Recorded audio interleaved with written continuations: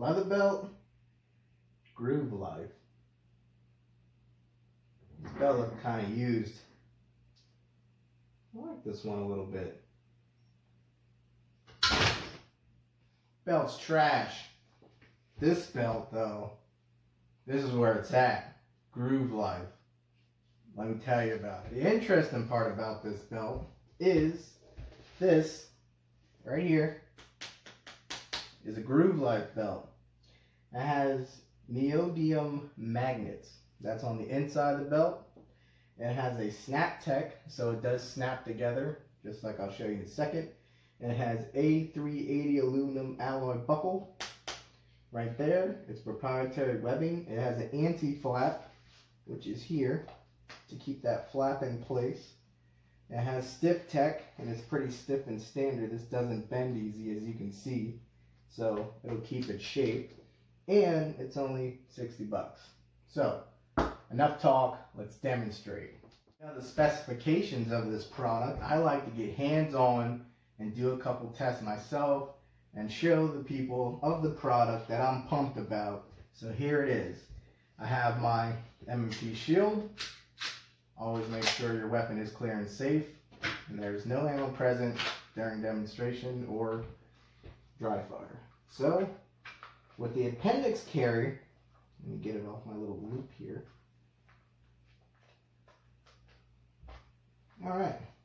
With the appendix carry, it is comfortable as an everyday carry. I can still do my around the world circles and it feels good.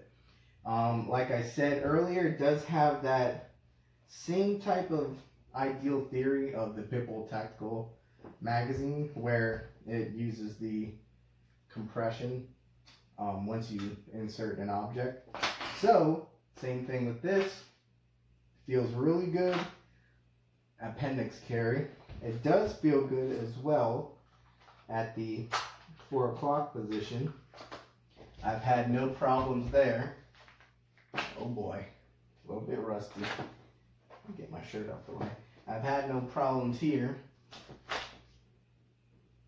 It's worked out pretty well.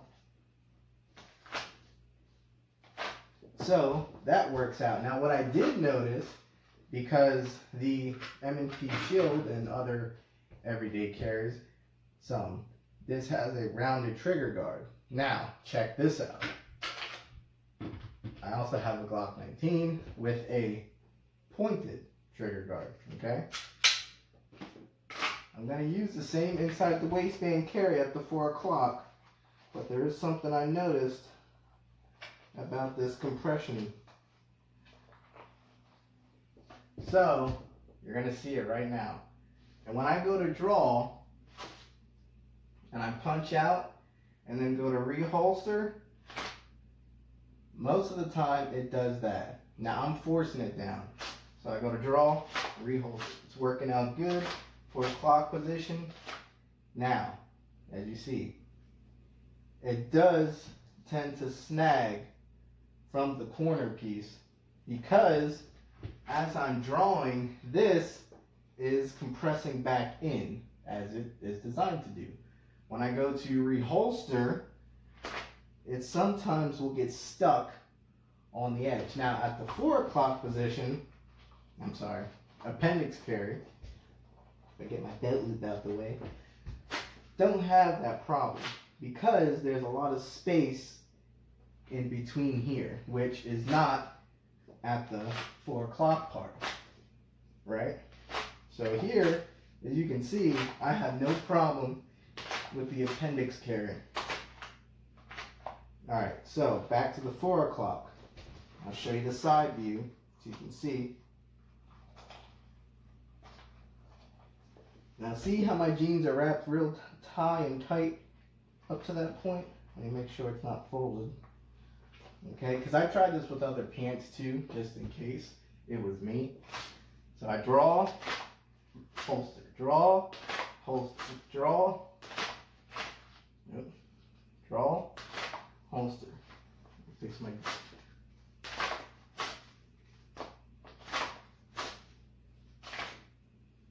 There it is. That I don't like. Okay?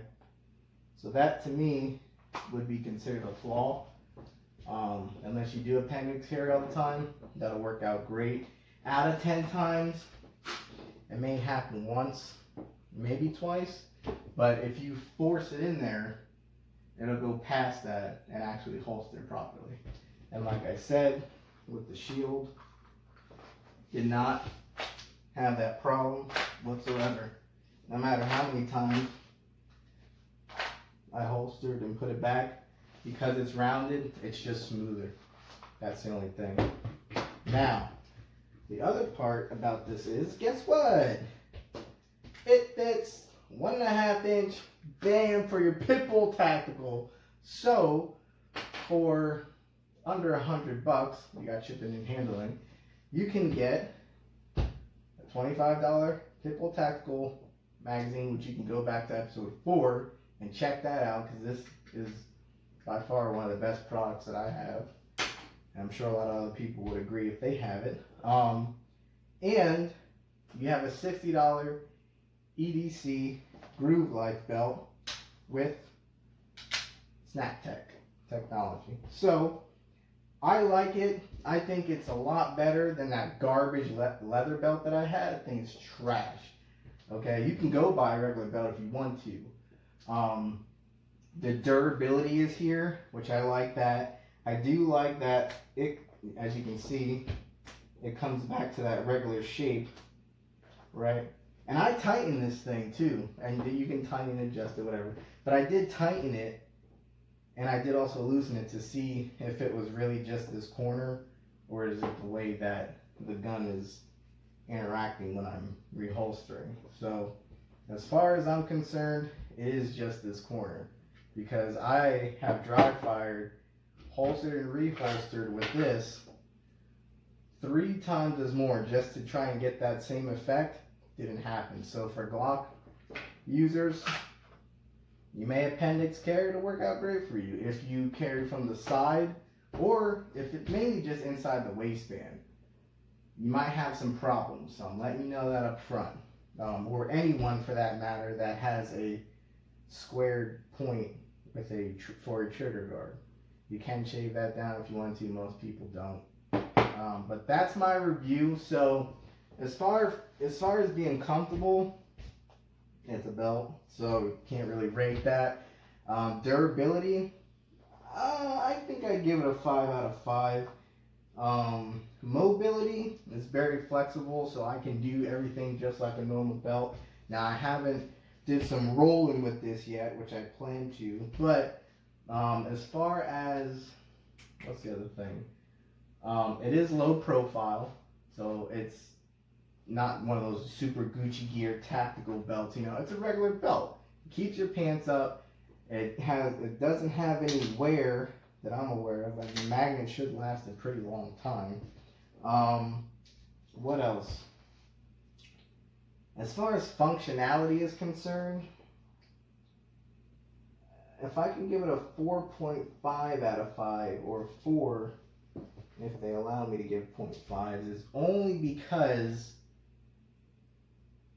a lot of people will carry Glocks such as this and other forms of handguns that have this pointed end, that may be a problem for them.